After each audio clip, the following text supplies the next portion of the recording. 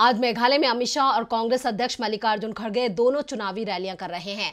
अमित शाह शिलोंग में दो रैलियाँ करने वाले हैं तो कल राहुल गांधी भी शिलोंग में रैली करेंगे।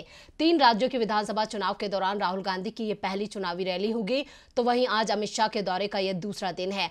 आज मेघालय में खड़गे की मौजूदगी से सियासी पारा काफ़ी गर्म है। देखते हैं। ये रिपोर्ट। ईसाई बहुल मेघालय में 27 फरवरी को होने वाले मतदान को लेकर चुनावी सरगर्मी ने ज़ोर पकड़ लिया है। राज्य में बहुकोणीय मुकाबला तेज होता जा रहा है। कांग्रेस सांसद राहुल गांधी कल यानी 22 फरवरी को मेघालय के शिलोंग में जनसभा करने वाले हैं।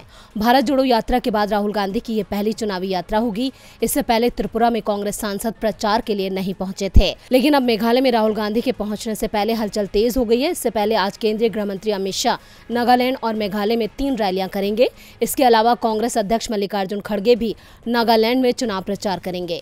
आपको बता दें कि बीजेपी के लिए मेघालय और नागालैंड दोनों जगह चुनौती कड़ी है।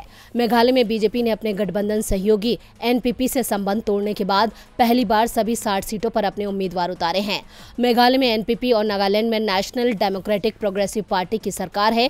दोनों ही राज्यों में बीजेपी सहयोगी दल के तौर पर शामिल है। 2023 मेघालय चुनाव में कुल तीन उम्मीदवार अपनी किस्मत आजमा रहे हैं। मेघालय में सरकार बनाने के लिए किसी भी पार्टी को चुनाव में कम से कम इकतीस सीटें जीतने की ज़रूरत है। पिछले चुनाव में कांग्रेस सबसे बड़ी पार्टी के रूप में उभरी, लेकिन 2021 में उसके 21 विधायक तृणमूल कांग्रेस में चले गए। हालाँकि दोनों राज्यों में कांग्रेस सत्ता से बाहर है और वो समर्थन हासिल करने की कोशिश कर रही है। नागालैंड और मेघालय में सत्ताईस फरवरी को मतदान होना है, जबकि नतीजे दो मार्च को आएँगे। डीबी लाइव की रिपोर्ट।